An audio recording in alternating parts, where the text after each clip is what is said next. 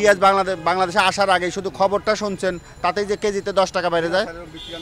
আপনি বিক্রি করেন না তাহলে বা- বাংলাদেশে এই ঘটনা কি নতুন? আপনি পাইকারি বিক্রি করতেছেন সত্তর। আপনার কাছে যিনি খুচরা দোকানদার কিনে নিয়ে যাবেন উনি কত করে বিক্রি করবেন?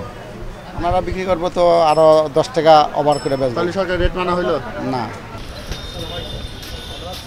হঠাৎ বাজারে জাতীয় ভোক্তা অধিদপ্তর টের পেয়ে তড়িঘড়ি করে শুরু হলো অতিরিক্ত দাম মুছে ফেলার প্রতিযোগিতা। কয়েক মিনিটের ব্যবধানে পুরোপুরি পাল্টে লেখা হলো সরকারের বেঁধে দেয়া দাম। ভোক্তা অধিদপ্তরের অভিযানের আগে মঙ্গলবার কৃষি মার্কেটের চিত্র এটি।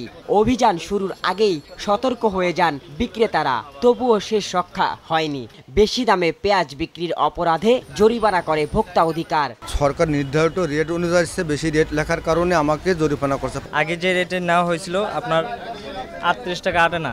আলুটা আমার ঘরে এসে চল্লিশ টাকা উপরে পড়ছে। আমি সেই রেটে মাল বিক্রি করছি। আমার লস পাঁচ হাজার টাকা জরিমানা করা হয়েছে।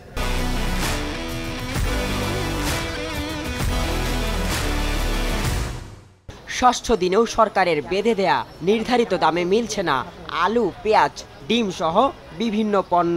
আর এজন্য বিক্রেতারা দিচ্ছেন নানা অজুহাত। আমরা তো কলেকশন সার যাই না আমরা তো পার্টিরা কিনা দেয় আমরা এখানে নেই আর কি। মালটা কোলেস্টোরতে বাইর করে উনি মালের রেটটা জানাই দেয়। যে আমার মালটা এত কিনা এত পড়তে আপনি এত বিক্রি করেন। মৌখিক ইটা হয় বেশিরভাগ। কোনো বিক্রেতা আইন অমান্য করলে কঠোর পদক্ষেপ নেয়ার হুঁশিয়ারি দেয় ভোক্তা অধিকার। যদি বেশি দামে বিক্রি করে থাকে তাহলে স্বাভাবিকভাবে তারা আইনের আওতায় আসবে। তথ্য আমাদের দিয়ে হেল্প করলে তদন্ত করে এই ওই সংশ্লিষ্ট কোল্ড স্টোরেজের বিরুদ্ধে যে আইনগত ব্যবস্থা সেটি নেওয়া হবে। অভিযানে বরাবরের মতো বিক্রেতাদের পাকা রশিদ দোকানে সংগ্রহ করার নির্দেশ দেয় সংস্থাটি। নজরুল ইসলাম সময় সংবাদ ঢাকা।